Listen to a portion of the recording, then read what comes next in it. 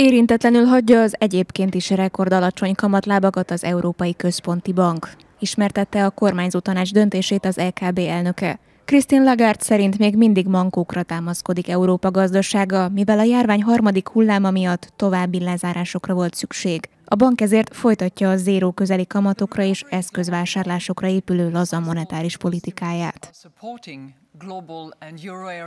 Miközben az élénkülő globális kereslet és a jelentős költségvetési ösztönzők támogatják a globális és az euróövezeti tevékenységet, a közeljövő gazdasági kilátásait továbbra is beárnyékolja a világjárvány kiújulása és az oltási kampányok körüli bizonytalanság.